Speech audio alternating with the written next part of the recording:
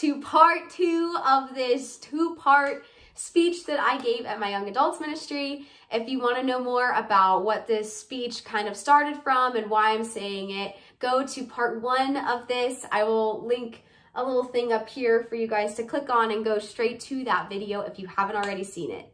In this one, I talk about the truth about Christ in the church, aka what I have learned from my baptism testimony that I shared in part one. So without further ado, here's part two.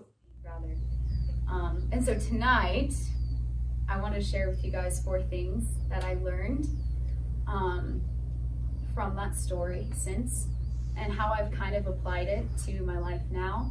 Um, in hopes that it encourages you in case you've ever been hurt by church leadership or felt misunderstood or isolated by anyone in church leadership. Um, or if you've ever had doubts about God, too. Um, because those are very real feelings um, and very valid. Uh, so, all right, so the first thing I learned about the church, I'll be sharing two from each. Um, so the first two things I learned about the church from that whole experience was that the church cannot control your salvation, only God can, and that God's will for the church is actually so beautiful. Um, and so the first point is that the church cannot control your salvation, which is a hard lesson that I had to learn the hard way, um, but a very valuable one. Um, so in Ephesians 2, uh, 2 verse 8 through 9 specifically, it says, For it is by grace you have been saved through faith, and this is not from yourselves. It is the gift of God, not by works, so that no one can boast. I love this scripture because it emphasizes that it's a gift. It's a gift from God that is not locked up in this tower that you have to go climb and it's it's not this far away thing it's obtainable um, or you can you can grasp grasp it if you go after it um, because it's waiting for you to receive. And um, my situation of having it withheld gave me an appreciation for the fact that it's not withheld from us at all. Um, that's very far from the truth. And that's the truth about the church is that the truth about the church is the church cannot control that. So that's good news um, because it's all in God's hands and He has already given it to you.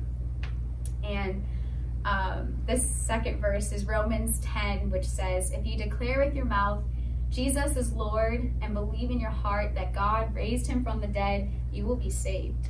For it is with your heart that you believe and are justified, and it is with your mouth that you profess your faith and are saved. And this scripture holds so much power because it's no longer about to see other people controlling it. It's simply about you and God. If your heart, mind, and soul are in love with Him, if you're ready to accept that, that is more than enough. He sees that. And no one can keep you from that or take you away from it. Um, it's yours. And so that's something I treasure from that experience.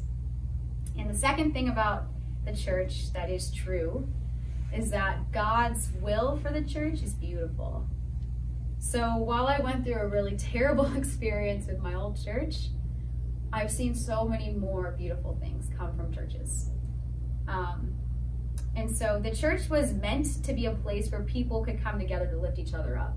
That was God's will for the church. It's a man made institution, um, but it was made to bring believers together in community to do incredible, loving things um, like having intentional shepherding or mentoring couples, people who just do life with you and who want to get to know you um, and lift you out of very uncomfortable situations. And um, I've been a part of ministries like children's ministry where you're teaching kids about how valuable they are and how much they're loved. Um, or even celebrate recovery and watching people fight things that have nothing to do with their spiritual health, but their mental health. Um, and walking through that together as Christians, it's huge. So the church is beautiful, and that is God's will for the church. It's for us to love one another, to be together in community. And He uses imperfect people to do those things all the time, which is a double edged thing because I think with my situation, there were imperfect people, but they weren't willing to see that. In their head, there was just this pride we are doing things this way, and this is the right way, when it wasn't God's way. Um, but on the other hand, I've met so many people who were imperfect, but their stories changed my whole life because of their imperfection. And it made them human and it made them relatable. Um, and that's very transformative in the grand scheme of things. And so those are the two things I learned about church from that whole experience. And those are the truths about church. And then I learned two things about Christ in the process as well. Um, the first thing I learned is that he is stable when everything else is not. And I also learned that his pursuit for us surpasses all understanding. So the first thing uh, on him being stable, I was reading through Hebrews. I just finished. Highly suggest haven't read it. It's so good. Um, but in Hebrews 13, it said that Jesus Christ is the same yesterday and today and forever.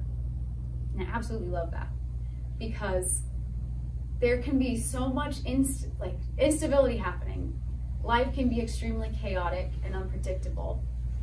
Um, but we know one thing for certain. If it's that one thing you're holding on to to stay alive, even, um, he will always remain the same. He will always be stable in a safe place to run to. Um, and because that's true, Satan will do anything he can to corrupt that vision of Christ. And we have to be aware of that. Um, which makes the church a perfect target because, unfortunately, especially if you don't really know a lot about the church or who God even is, it's easy to mesh together the way the church treats you with the way Christ is going to treat you, which was my problem. They were rejecting me, so I felt like God would. They were telling me one thing, so I felt like God felt the same way about me, and that's so far from the truth. Um, so it's important we realize that a fault of a church is not a fault of your relationship with God. If a church falls, you can still have stability if you're putting your faith in Christ, because He's the one who's a part of it all. He's the one building all of it. And the second thing I learned is that Christ's pursuit for us surpasses all understanding. Um, he was pursuing me long before I even recognized that, um, which showed on the bus. Like, I wasn't even thinking about God at the time. I was probably thinking about lunch for that day, or how tired I was, or the boy I was dating. I don't know. Like, just ridiculous stuff. That doesn't even matter now. And he totally spoke to me in this moment where I was not prepared. I was not like anticipating his response. It just came. And that's how God works. He's going to come when he wants to, and he's going to come when it matters most when it'll speak to you the most. Um, and so, yeah, he was pursuing me long before I even recognized it. And he pursues us because of his love for us. Um, a verse I really love is the one in Ephesians where it talks about how wide, how long, how high, and how deep is the love of Christ for us. Um, because it shows that his love is in four dimensions. We're in a third dimension. His is in the fourth. Like, he is not even on our level. We have to get on his level. We can't because of how big it is, how unfathomable it is, how incredibly just consuming his love is. We will never understand it. And as somebody who loves to figure things out and know why things work and come to a conclusion, you can't with that concept. We can either let that be our greatest confusion or our greatest joy. To know that Nothing here on earth will ever match or compare. So whether you've lived in an absence of love for a very long time in your life, know that his love is so much better that you haven't even begun to experience how much you're loved yet. Or if you've experienced so much love and joy, you know that feeling. Like you you know what love feels like. Well, there's an even greater love. And that's always great news. Like, no way, this feeling I'm feeling, you're telling me it's like up here? Um, no, it is. Yahweh, it's so real. Um, it's beyond our comprehension, and that's great news because it's something we'll always be chasing and we're never going to get tired of. He'll always top you. Um, and so, in conclusion, that is what I've learned um, so far.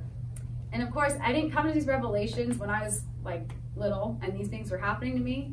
It's taken years of healing and therapy and dealing with um, trauma left behind from those experiences and forgiving the church um, for what happened.